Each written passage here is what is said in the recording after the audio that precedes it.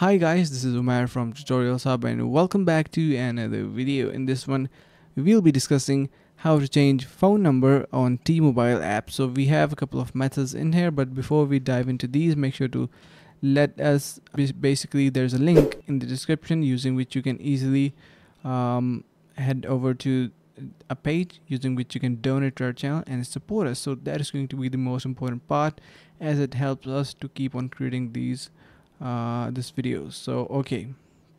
Now what you need to do is basically the first thing if you want to go online you need to log into your T-Mobile account on the T-Mobile website. And yeah.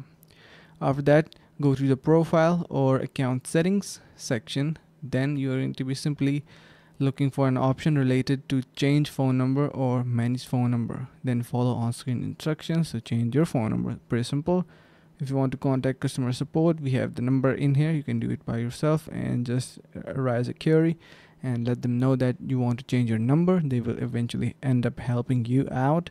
After that you can visit the P- uh, T-Mobile store physically. And if you want to do that and you have uh, if you have availability for that you can uh, simply uh, apply from there as well. So that is going to be the process for this. And i hope this helps. Make sure to let us uh, know in the comments below what else you want to see in the next video. Thank you so much for watching. See you around the next couple of videos. And yeah that is pretty much it for this one